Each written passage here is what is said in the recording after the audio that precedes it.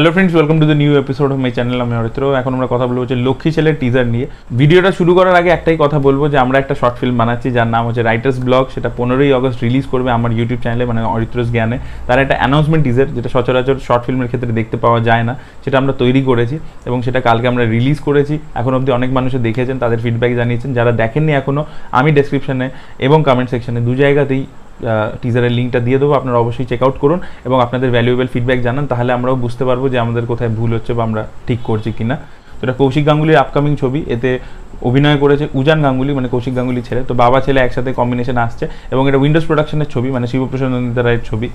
এবং এটা রিলিজ করবে ছাব্বিশে অগস্ট এবং এটা ক্ল্যাশ করছে কলকাতা চলন্তিকার সাথে। তো আমি এই দুটো ছবির কম্প্যারিজন একটা ভিডিও বানিয়েছিলাম যেখানে আমি বলেছিলাম যে কোন ছবিটা বেশি বিজনেস করতে পারে, কোন ছবিটা বেশি অ্যাডভান্টেজেস পজিশনে আছে।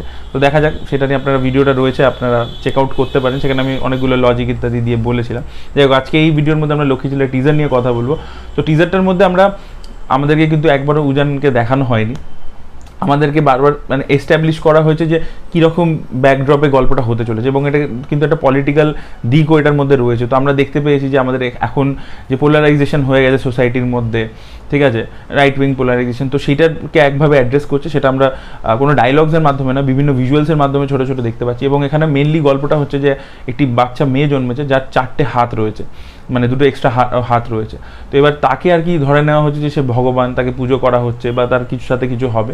এবং এই উজানের যে ক্যারেক্টারটা রয়েছে, সে কিছুভাবে বাইরে থেকে এসছে, যে হয়তো শিক্ষিত ছেলে, সে হয়তো এই গ্রামেরই ছেলে বাট বাইরে পড়াশোনা করে এসছে এবং সে হয়তো এই জিনিসটা, এই যে ভুলভাল রিচুয়ালগুলো করা হচ্ছে, তার এই যে রিলিজিয়ান ডগম্যাটিজমটা আছে, তার বিরুদ্ধে লড়বে এবং হয়তো এটা প্রোটেস্ট করবে এবং এন্ডে হয়তো সে মরেও যেতে পারে। কারণ যদি আপনি দেখেন টিজারটা যেখানে এন্ড হচ্ছে, সেখানে তার দুটো রক্তের মানে পা, রক্ত লেগে আছে পায়ে, সেরকম আর কি ছাপ। এবং আমরা যে জানি আর কি যেরকমভাবে পায়ের ছাপ দেওয়া হয় সেরকমভাবেই ওই পা দুটোকে রাখা আছে। তো ওই পায়ের ছাপগুলো কিন্তু আপনার টিজারের মধ্যে অনেকবার দেখতে পাবে। তো ওই যে বলে না, ওই যে পায়ের ছাপগুলো দেখা, আমরা দেখি আর কি, যেটাকে আর কি ভগবানের ইয়ে করা হয়। তো সেইটার বারবার বারবার রেফারেন্স রয়েছে, পতাকার মধ্যে রয়েছে, এর মধ্যে রয়েছে, এবং যে টাইটেলটা রয়েছে সিনেমা তার মধ্যেও কিন্তু আমরা দেখতে পাচ্ছি। তো মানে যেটাকে আর কি একটাভাবে পুজো করা হয় সেটার মানে কতটা অন্ধ ভক্তি, সেটা কতটা মানে ডেঞ্জারাস এবং সেটা থেকে কি ইম্প্যাক্ট হতে পারে সেটাই হয়তো আমাদেরকে দেখাবে। এবং কৌশিক গাঙ্গুলির গল্প বলার ধরন বা ওনার ট্রিটমেন্ট ছবি উইন্ডোজ প্রোডাকশনের মতো একেবারেই হয় না। তো দেখা যাক যে উইন্ডোজ প্রোডাকশনের যে নিজস্ব টার্গেট অডিয়েন্সটা আছে, তাদেরকে মাথায় রেখে তাদেরকে কেটার করার জন্য কোনো এলিমেন্ট কৌশিক গাঙ্গুলি আলাদা করে নিজের স্ক্রিন প্লের মধ্যে ঢুকিয়েছেন কিনা?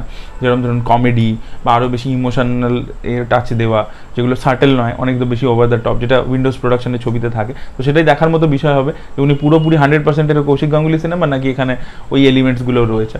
আর উজান গাঙ্গুলিকে তো রসগোল্লাতে বেশ ভালোই লেগেছিল। দেখা যাক এই ছবিতে কীরকম করতে পারেন। এই ছবিতেও তার আরও স্কোপ থাকবে অভিনয় করার, আমার মনে হয়। সো লেট সি কীরকম কী হয়। আপনাদের কেমন লেগেছে টিজারটা অবশ্যই জানাবেন। এই ভিডিওটা ভালো লেগে থাকলে লাইক করুন শেয়ার করুন চ্যানেলকে সাবস্ক্রাইব করতে ভুলবেন না। Bye bye